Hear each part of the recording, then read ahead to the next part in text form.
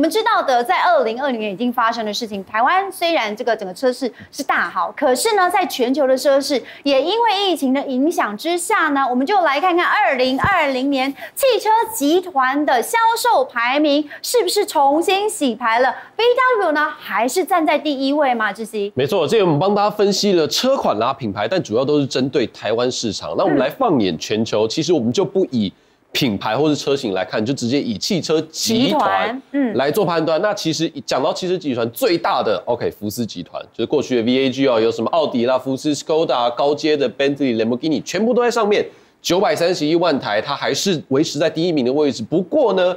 去年二零二零年相较于前年二零一九掉了百分之十四点五哦，这个幅度。听起来好像很大，不过呢，你一次看一到十名，它大概也就是位在中间的位置而已，嗯，并不算掉的特别多。当然，因为疫情的关系，每一个品牌全部都下滑，全部都下滑。但呃，Toyota 一样维持在第二名的一个位置啦。虽然单以品牌来看，它绝对是全球第一，对。但是以集团来说，它不敌这个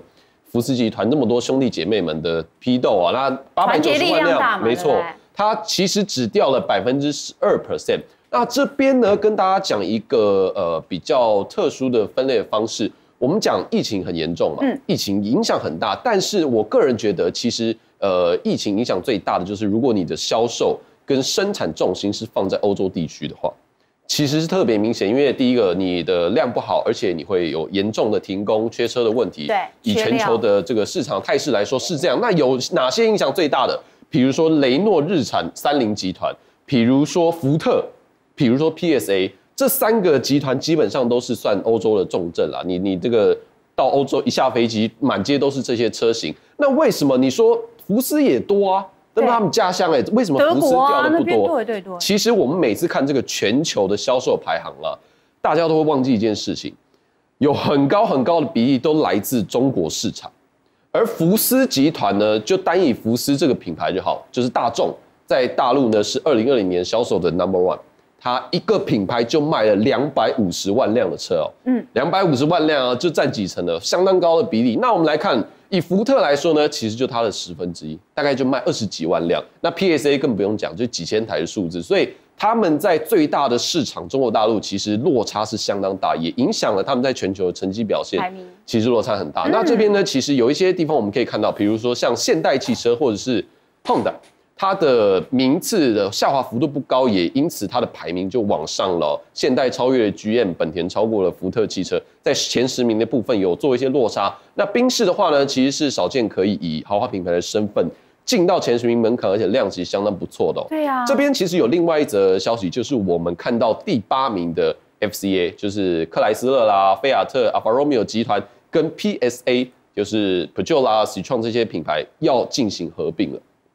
这两个集团将会以后成为一个 Stellantis，就是呃中文叫做以繁星点亮的这个他们的新的联盟哦。那加起来的数字呢，就是大概有六百八十几万辆，就来一加一大于二呢？对，就来到全球排名的第四名的位置。对，有可能啊。那我们讲，你为什么现在要集团合作？讲这个罪魁祸首，OK，福斯集团，我全部都整并在一起，对不对？你现在也不知道怎么定义，定义成本更低。对你也不知道怎么定义双生车了。以前同平台同引擎就可以，现在模组化平台可长可短，对不对？小到奥迪 A One，大到呃 Skoda 的 Kodiaq，都是双生车吗？对，这样也怪怪的。所以以集团的整合资源来说，它绝对是获利最棒的方式。光以 FCA 来说，我们常讲这个 Maserati 这个超跑品牌啊，现在呢可能会沦于只剩下声浪跟品牌价值的品牌。为什么？因为打开就是克莱斯勒的内装嘛。那那个三百 C 的底盘 就是一个呃虚有其表，你我跟你讲，logo 对，就是 logo。对人哦不怕没有钱，但怕你有钱的时候还没有品味，对，会选购这样子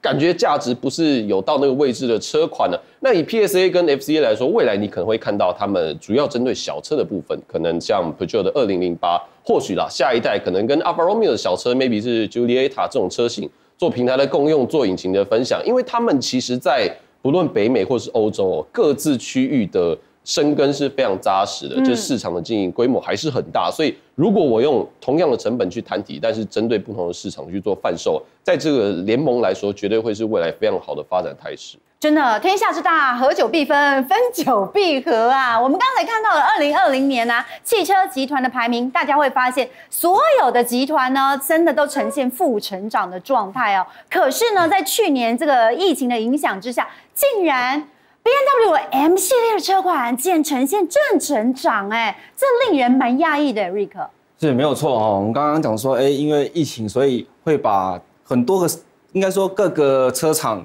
各个全球化各个车厂其实整个都有受到影响啊。对，然后刚刚志熙也提到了，蛮多一些销量其实确实是都有缩减一些些的哈，就是不同不同的比例。但是呢，以 B N W 来讲呢，它二零二零年的销量呢是两百零二万八千六百五十九辆，对不对？但它也是跟去年比较，它其实是衰退的哦，因为它二零它衰退比跟之前比起来是衰退衰退百分之七点二趴。不过，如果以 M Power 这个这个品牌 M 部门来讲呢，它 M 部门包含了 M Power 跟 M Performance，所以如果单单纯以 M 部门的车系列来说呢，哦，卖出了十四万四千两百一十八辆，哎，反倒跟去年比起来还成长了百分之五点九，令人讶异。对，它是不是大家都觉得哦，原来呃，以 M Power 成立呃这这么久以来，M Power 从一九七二年开始成立了。它成长了百分之五点九，来到十四万四千两百一十八辆呢，其实是从一九七二年成立以来的一个销售量的新高。新高以 M 部 M 部门来说，那其中呃这个十四万四千两百一十八辆，它的一个最销售量最好的一个车款呢，就是最居功绝尾的两个车款，分别是 X 五 M 跟 M 三四零 I。那以 X 五 M 来讲呢，毕竟它搭载的是 M 纯 M Power 的这个。动力嘛，那马力有有有六百匹，然后四点零升 V 八的涡轮增压系统，非常的非常的厉害。加上其实这几年的修旅风潮也非常的盛行，不管是在啊北美市场也好，或者是欧洲市场也好，哎，大家还蛮喜欢这种哎呃有大马力，甚至我开起来我可以上山下海的这种呃高性能的修旅车款，甚至可以说它是跑旅的车款也好，哎，这应该是市场上面啊第一个是潮流啦。再是，大家也其实也能够非常接受这样子的车款，而且那再来像是 M Performance，就是代表的是所谓它的 M Performance 的一个 M 三四零 i 的车型，那他当然也是跟所谓，当然他还是没办法，假设说是老司机的话，他一定会讲说，呃，B M W M Power 跟 M Performance，当然 M Power 还是所谓的 Pure M，就是纯 M 的意思。那不过骨子里就是 M，留着 M 的血，但是 M performance，M performance，但是它虽然说并不是只有所谓的外观跟底盘啊、换换圈啊、空力套件，它就是说它是想它是想要 M，但是其实它在动力方面呢，其实也非常的不错，因为它虽然是三百五十几匹马力，可是它有三百七十七十多匹的这个马力，其实它变等于说它这个性能表现上面其实也非常非常的棒啊，而且而且我们还可以。看一下哦，以诶 M Power 跟 M Performance 他们这个品牌的一个销售量来讲，其实在去年来讲，它在中国还有北美市场反而是卖的非常非常好。嗯，所以造就了他们呃整个品牌有一个呃性能部门的一个销售的高峰，而且在俄罗斯、韩国还成长了百分之六十，所以是非常厉害。所以之后的呃，我觉得之后的一些不管是 M Power 也好，M Performance 也好，之后大家的。推出的一些新新车款，都非常值得期待。真的耶，所以很多人在买车的时候会跟着 logo 而走哦。我们看到呢，继呃 B N W 啦，还有 Volkswagen 呢，他们更新了他们的这个原厂的厂徽之后呢，接下来 Kia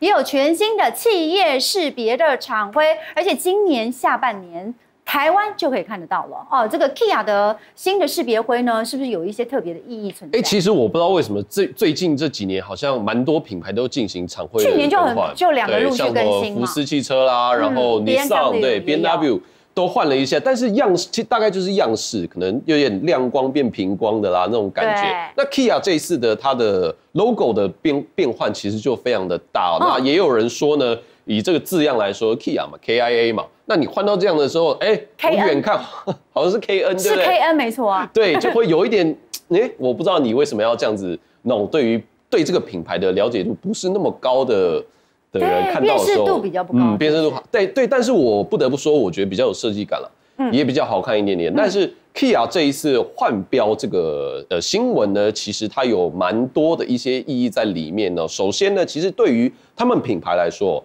他们觉得认为，你看哦，其实连他的 slogan 都换了。嗯，以前是比较比较偏向打响品牌价值，现在呢，可能对于它的品牌位置有到了之后，他们觉得动力的部分啦，或是驾乘的体验，会是这个品牌经营的主要的方向啦。当然，对于官方的说法来说是这样，他们甚至还举办了非常热闹的换标的 party，有